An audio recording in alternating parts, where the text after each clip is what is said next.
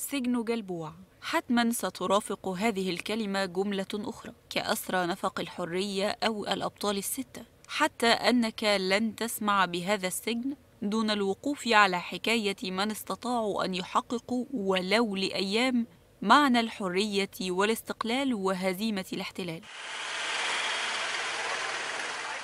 وعقب انتشار هذه المشاهد سرعان ما عاود هاشتاج نفق الحرية ليتصدر منصات التواصل الاجتماعي من جديد. لكن هذه المرة بصورة مغايرة لما كانت عليه أول مرة بمنشورات مليئة بالحزن والأسى على ما آل إليه آخر بطلين من الستة الذين حرروا أنفسهم من سجن جلبوع شديد الحراسة.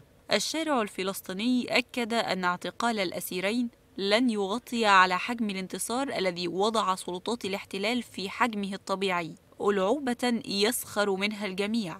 وكان دليلا دامغا على هشاشة وضعف منظومته الأمنية وعدم صمودها أمام إرادة المقاتل الفلسطيني.